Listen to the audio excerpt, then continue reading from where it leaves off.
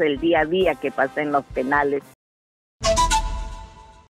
Vamos a conversar con Roxana Vilela, quien es coordinadora regional anticorrupción de Piura, que nos va a dar detalles de por qué sucede esto, teniendo en cuenta que muchos y muchos operativos han logrado obtener estos aparatos prohibidos. Pero ¿y cómo ingresan? Roxana, muy buenos días, bienvenida a Exitosa. Muy buenos días ante todo, Percy. A nivel nacional ahorita están todos los familiares e internos escuchando Radio Exitosa, ¿no? Porque esto no es algo común, como se dice, esto es, mejor dicho, es el día a día que pasa en los penales, de los 68 penales. Los internos sí sabemos que tienen celulares y de alta gama, ¿no? Y tú bien lo has dicho, ¿cómo ingresan? La pregunta es, ¿quién los deja entrar? Porque tú sabes muy bien de que cuando ingresa un familiar o intenta ingresar un celular, un familiar al toque lo detienen en la puerta.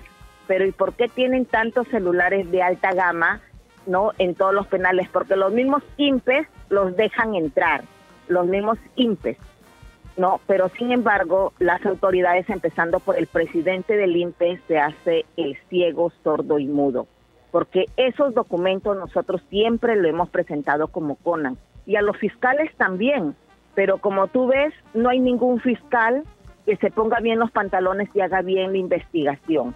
Desgraciadamente, mira, esta foto de este interno que ha salido eh, en la prensa, todo, esta foto ha sido tomada hace años.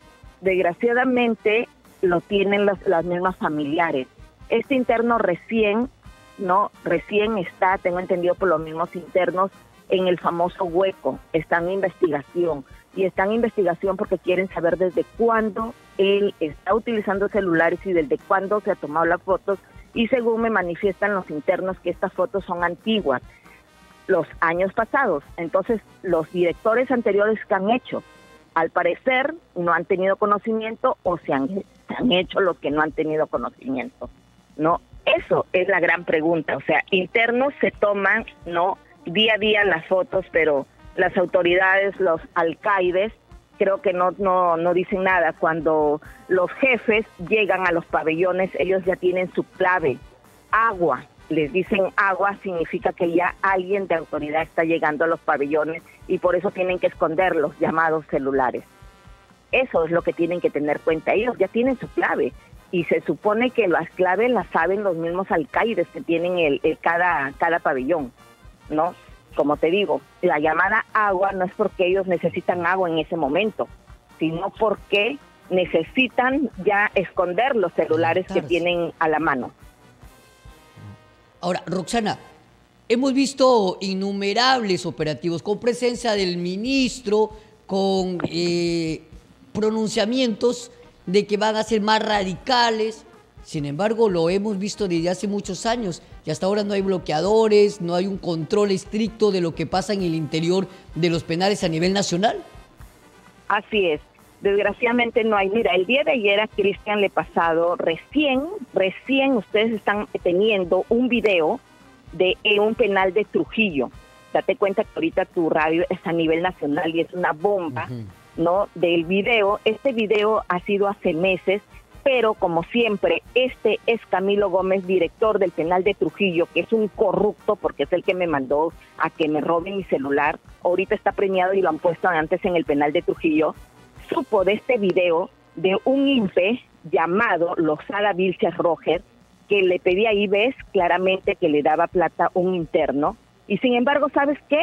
Él quiso irse voluntariamente a Chayapalca imagínate, el penal más eh, supuestamente eh, que está más eh, de gente de riesgo, antes lo premian y lo llevan a Chayapalca y lo ponen de jefe de seguridad.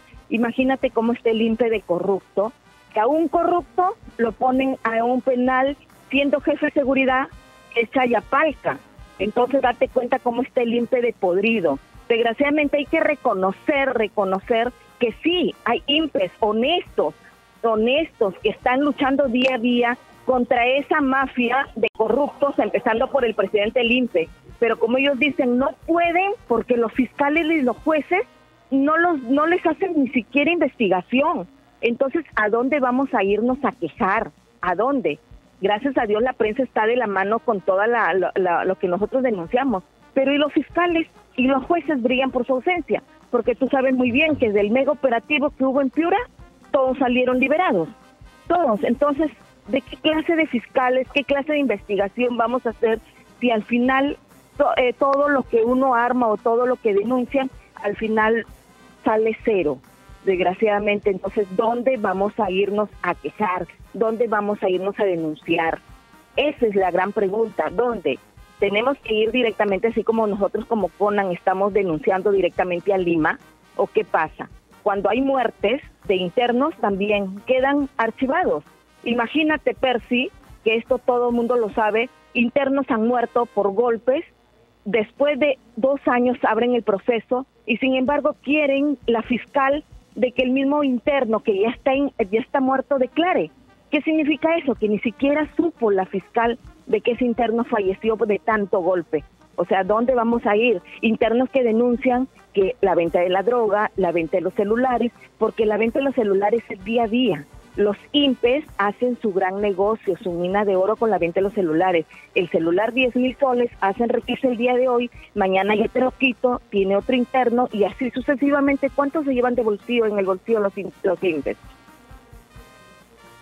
Tremendo lo que está terrible, lo que está pasando en los penales, que se tiene que tomar inmediata decisión para poder disminuir el alto riesgo. Sabemos que desde ahí inclusive salen las extorsiones y, otros actos que siguen atentando a la comunidad. Muchas gracias, Roxana Vilela, coordinadora regional anticorrupción de Piura.